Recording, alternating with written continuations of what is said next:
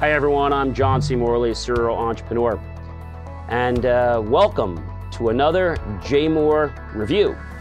Not too long ago, I actually did an unboxing of the LinkStation Navigator um, and uh, the 220 um, series. And this one is actually two four terabyte hard drives for a total of eight terabytes but actually, when you enable the RAID functionality, which is how it comes from the factory, uh, you actually only get four terabytes. With the, the overhead uh, and some of the software they've preloaded, you're basically getting 3709.2. So not quite four terabytes, but you know, pretty close.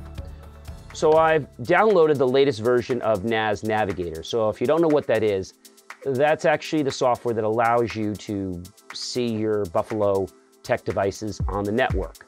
It says here, enter the password. I'm going to enter a password right now. I'm not going to share it with you.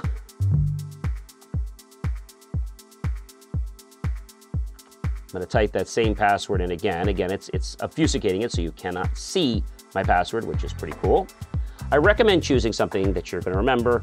Um, saying the password is pretty easy. If you forget the password, well, there's a, a step or two you have to go through, and it's not hard, but it just can be a little bit annoying. So I'm going to go ahead and say next. Once I do that, it's going to go ahead and execute the job to apply the settings, which is pretty easy, and you can see right on the screen that it's doing that. This is going to just take a couple seconds. Now it's asking me, do I want to set this as a public folder or do I want to set this as a private folder? So if I set it as a public folder, anyone can access this folder.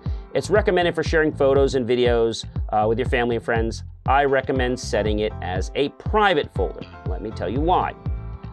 If somebody does get into your network, you want to make sure that they can't access your data. So I'm going to set this as a private folder.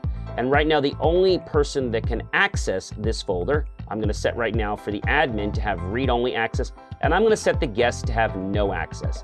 If I set up read only, then I would only be able to read if I did read and write, but I don't want to use guest access, so I'm going to turn that off.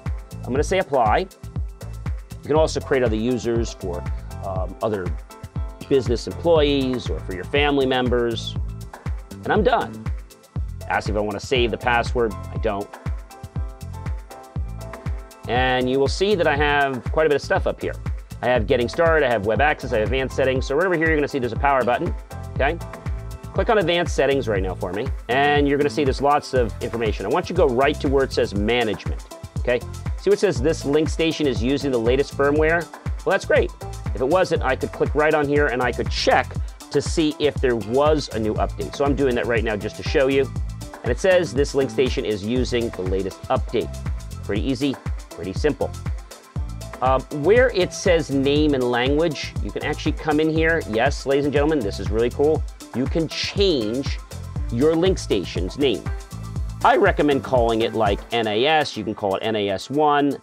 I'm going to call it NAS2 because I already have um, an NAS on my network, network attached storage. I'm going to click OK. Take a second for that to save. And I have to tell you, uh, I've used Buffalo products before. This is the first time I'm using this product. It functions very similar to the way a lot of the higher priced products work. So you have your file sharing menu, you have your drives menu, you have your USB drive, so you can display uh, connected USB drives, which is pretty cool. I can go into backup. Right now, I could set a backup from this device to something else. I can use Time Machine for Mac. I can do a direct copy. I have to tell you that from what I've been seeing with this device and playing around with it, it works very similar to where the other devices work. And even though some of the other devices have some other features, I'm really impressed with the way this device actually works. Now, if you notice on the top here, you're gonna see it says download. When I click on download, which I'm gonna do right now, and when I've done that, it asks me for my region. So I'll click United States and it asks me what do I want? My manual, HTML, PDF, quick setup guide, and known issues. I really got to give uh, the folks at Buffalo a big thumbs up because one of the things I always used to hate is that you had to go to their website, you had to put in a serial number, if it was something that had to be validated for a serial number, and it would just take more time. Now they actually put it right into the device. So kudos on that. Again, I really like the product. And for the price tag of this product, which was not a lot of money, I think this product was under $400. It was like three or $400. It was really reasonable. And again, I'm getting eight terabytes, almost eight terabytes. So this is perfect for somebody who wants to store that uh, long life history of photos, videos. But you don't need to pay all that money to store it on the cloud. And this is great, especially if you do what I do at home and in the office. I like to produce videos. I need storage for that. And you need to put a have a place for that.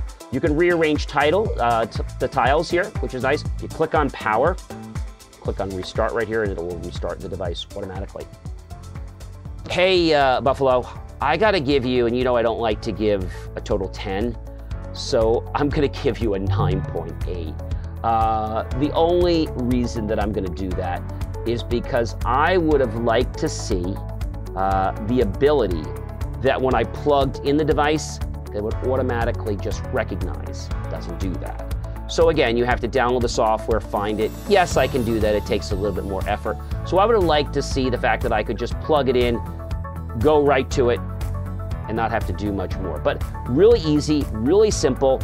If you're someone that, you know, wants to store lots of photos or videos or just needs a place to be able to store programs you purchase with license keys, that can be a headache to have to figure out where they are, uh, what email address you use. All in all, Buffalo, I think it's a great product. And uh, ladies and gentlemen, if you are looking for an affordable RAID solution to plug into your home desktop or even your laptop, uh, this is connected to our network.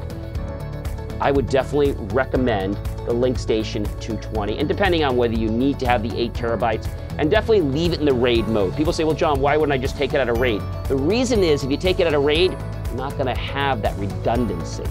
So that's really uh, important uh, when it comes to uh, especially safeguarding your data. One of the things I use it for is I have a program and every night it takes an image of my hard drive and actually pops it onto here. So that means I can store several images of uh, my used space of my hard drive and um, I could recover if there were any problems. Remember, I always talk about ransomware, and even if you have protection, there still can be those issues, even with the greatest protection, that might not catch everything. So wouldn't it be nice to have a backup of that? Hey, if you like this review and you'd like to see more of them, hey, why don't you show me some love? Click on the thumbs up button, smash the bell notification icon so you're instantly notified, click on the subscribe button. And um, of course, if you really enjoyed it, below every one of my videos, click on the link and make the choice to buy my team and I a cup of coffee with those pennies and dollars. We invested into new hardware, new technology, new equipment to give you inspiring technology that make you more productive and help you become a better version of yourself. I'm John C. Morley, serial entrepreneur and engineer, and you've been watching the JMOR Reviews channel. I'll see you back here for another review real shortly.